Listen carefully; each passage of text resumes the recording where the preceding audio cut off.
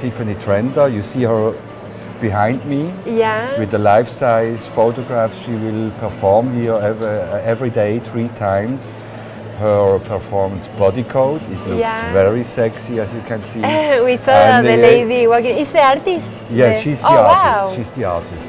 But in the in the artwork, she has a, a strong statement because of uh, if you scan the QR code, it connects you to a website wh- which gives you information about the textile industry in India and China. Terrible situation. Very interesting. Very interesting. Also, the little uh, the topic of the fair is to uh, recover like different disciplines of the arts, like uh, fashion, design. Yes, and yeah, like I said, this this example from Tiffany brings this together. Also, advertising and art and all that stuff. It, it's it's connected in a way, and I, I'm very interested about this situation. So. You find artwork about this situation more and in Scope Art Fair because it's younger, it's fresher. Immersion. Yes, and you you find new ideas, etc. It's it's a like for me kind of a melting pot of ideas.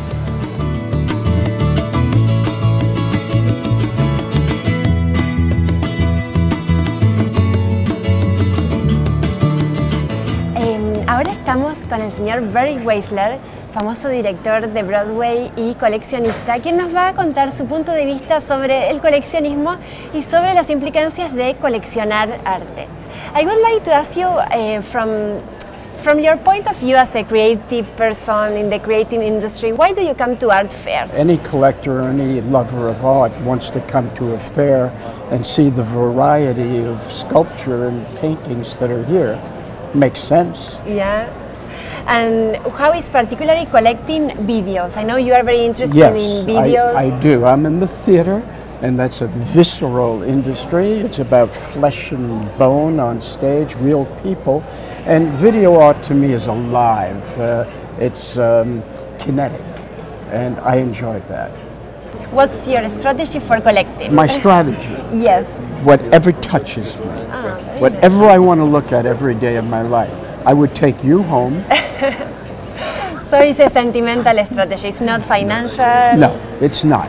Uh, I, I look for value, but uh, it's not the main thrust of my collecting.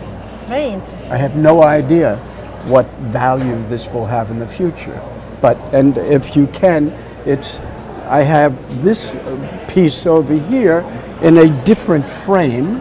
Um, there's something so sensual and claustrophobic, and uh, it, it has a variety of emotions as you look at it. She's captured, but she seems serene. She seems okay.